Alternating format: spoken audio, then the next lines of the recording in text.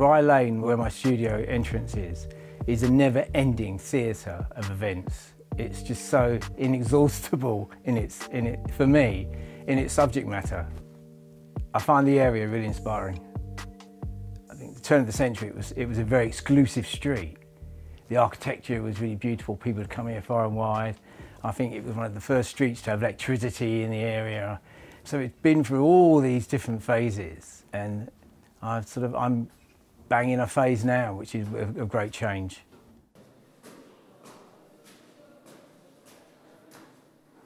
I start a lot of ideas because if you don't start things, they don't get finished. And I've lost ideas and I'm terrified of that.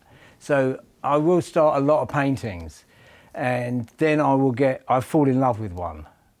I'll have an idea, it's a starting point, and then that will develop. I'm sort of waiting for the wonderful accident to happen to make it great. So, so and it, it, you know, it starts off with a simple drawing, get shapes in, and just let it develop.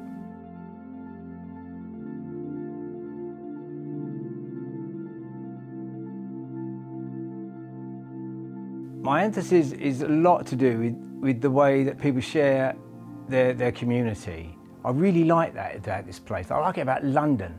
I like the way that people share public spaces. I like the way that they interact. So body language has always really, really been a part of my work. And I'm always trying to look for it. I always want it in the painting.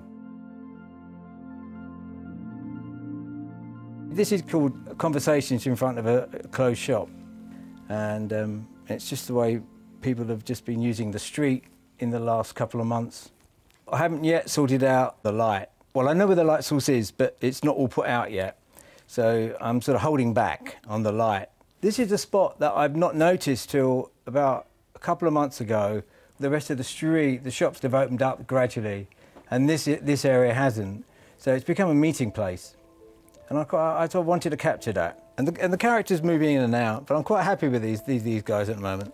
Because I've been doing this for quite a while, I know I'm going to win in the end. So there isn't that anxiety that this is terrible and I'm never going to be able to produce anything else again.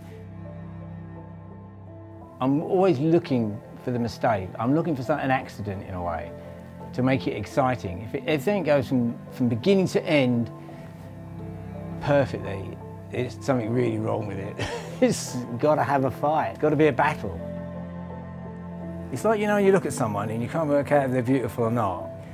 And you've got to bit, look a bit longer. And I'm sort of looking for that in a painting, really. I want my eye to do some work.